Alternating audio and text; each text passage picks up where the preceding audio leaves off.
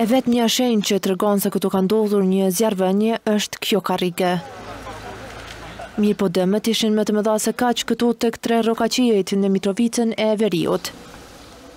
E shfrytëzuan natën që të mos identifikohen e të sulmojnë një tjetër pikë statike të Policisë së Republikës së Kosovës.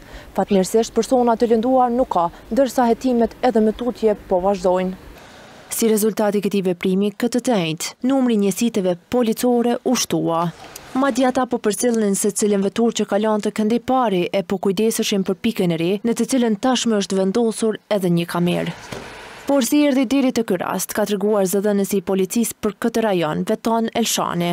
Sot mëngjes rreth orës tre, në këtë vend këtu ka qenë një kiosk në të cilin kohë pas kohe kanë qëndru policia, është djeg me, besojmë që është mjet piroteknik, i kombinu me ndonjë material ndezës, që do të thotë ka mundësi me qenë naft, benzin, diçka e tillë, dëmet nuk kanë qenë të mëdha, sido qoftë nuk ka pas nevojë as zjarrfiksa që të ndërhyjnë, Ai ka bërë të ditur se deri ku kanë shkuar hetimet. Nuk kemi të dyshimtë për momentin.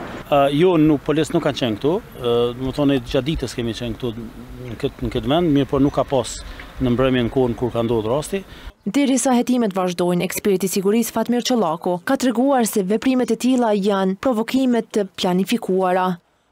pjesë e skenarëve të ndryshëm dhe aktivitet në kontinuitet destruktiv me qëllime politike për të përhapur pasiguri, për të krijuar ndjenjën e pasigurisë dhe njëkohësisht për të frikësuar dhe kërcënuar edhe qytetarët e asaj pjese, po edhe në përgjithësi opinionin e gjerë veçmas për të përcjellë mesazhet e strukturat politike se ata janë padëgjueshëm. Por si e vlerëson ai situatën në veri të vendit? Këto nuk janë asgjë serioze për mua, sepse janë të pritshme, të kalkuluara, në sens se ligji duhet të sundojë në atë pjesë, i përshëndes dhe i përgëzoj masat që ka ndërmarrë policia në kuptimin e arrestimit të kriminalëve të dyshuar.